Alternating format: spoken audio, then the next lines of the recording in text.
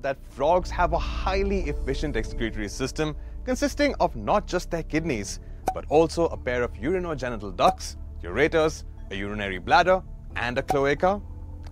These organs work together to eliminate nitrogenous waste and keep the frog's body functioning at its best. Let us find out how in this video.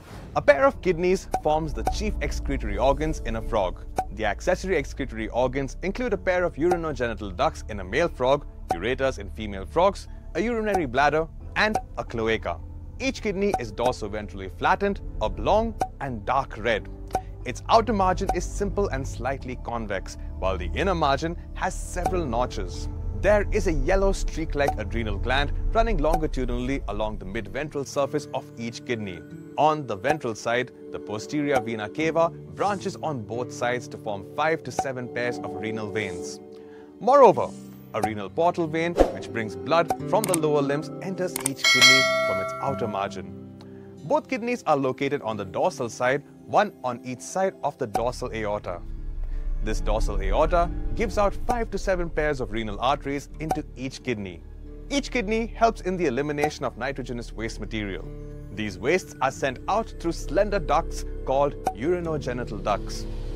These open into the cloaca through small apertures. The urinary bladder is a thin-walled, bilobed sac-like structure having non-striated muscles in its walls. It opens into the cloaca through a large aperture. The urinary bladder temporarily stores urine.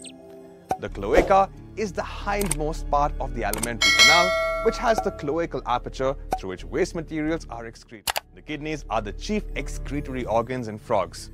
The accessory excretory organs in a male frog include a pair of urinogenital ducts and in a female frog, ureters. Both kidneys are located on the dorsal side, one on each side of the dorsal aorta. The kidneys help in the elimination of nitrogenous waste. The urinary bladder is a sac-like structure that stores urine temporarily. The cloaca is the hindmost part of the alimentary canal and has an aperture through which waste materials are excreted.